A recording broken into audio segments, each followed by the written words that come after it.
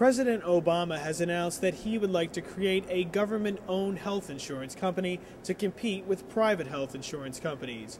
When asked if they support this idea, Democratic Senator Chris Dodd called it a quote buzzword, and Democratic Senator Harkin called it quote political talk. Do you support President Obama's decision or idea to create a government run company, no, government-owned no, company. No, no, no, we're not talking. You know, listen. That those are all the language that people have out time. Those are buzzwords. We're talking about a, an alternative program here, a nonprofit. There have been various other ideas that have been discussed. Uh, the point here is, are we going to drive down costs, make this accessible and affordable to people? That's the goal. And, uh, and if people have better ideas on how they can do that, I'd like to listen to them. But too often what I'm hearing is they're just against everything. Being against everything, being for the status quo, is unacceptable to an overwhelming majority of Americans. They want change. This is a crisis. When you can't get health care coverage or the coverage you have doesn't cover you or provide you the protection you deserve to have, it is a crisis for that family.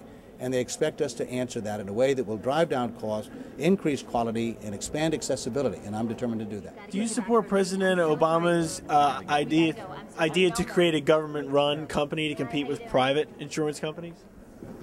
Oh, I hear a lot of that. That's that's sort of political talk. That's just politics. Do you support it though, creating a, go a government-run company to compete with private health insurance companies?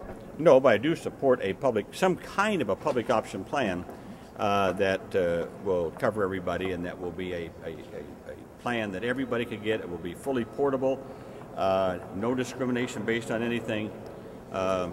I do support that concept. Isn't that considered socialized medicine now? What do you think about taxing employer-provided benefits?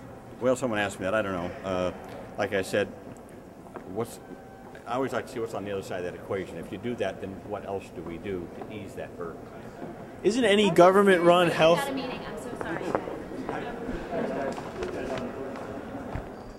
Now, Senator Dodd says he hopes to get a health care reform bill passed before the July 4th congressional recess.